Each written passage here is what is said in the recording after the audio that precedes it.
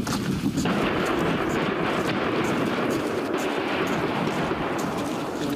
Это мост через реку Северский Донец. Позади город Счастья, впереди крайний блокпост украинской армии и практически сразу позиции боевиков.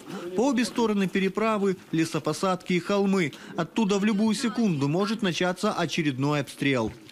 Нельзя считать, недооценивать их тоже. Там тоже есть люди, которые могут пересечь линию фронта.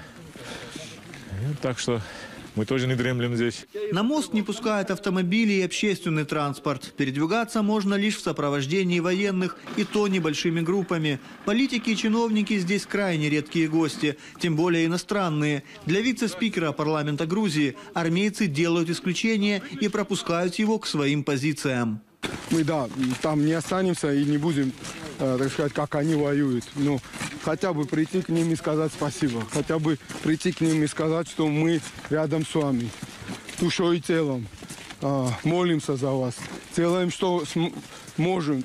Оппозиционный грузинский политик приехал в счастье поддержать украинских бойцов. Его визит не ограничился посещением штаба. Решил увидеть своими глазами, как служится на передовой. Какое настроение у ребят? Боевое. Не будут сдавать? Нет, мы Позиции. отступать не собираемся.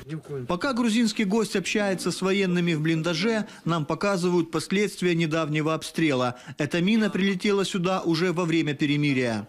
Блиндажи и окопы не дают стопроцентной гарантии безопасности. Это крайняя точка. Те, кто здесь воюет, постоянно рискуют жизнью, даже во время перемирия. Попала мина, разорвалась наверху, а хвостовик залетел в середину. Ну, все живые, только Сайдара ранила. Бойцы 92-й бригады находятся тут круглосуточно уже с сентября. Они первыми принимают на себя вражеские удары. Сегодня здесь действуют скорее законы войны, чем перемирия. Мы провели на блокпосте около получаса. Обстрелы не прекращались ни на минуту.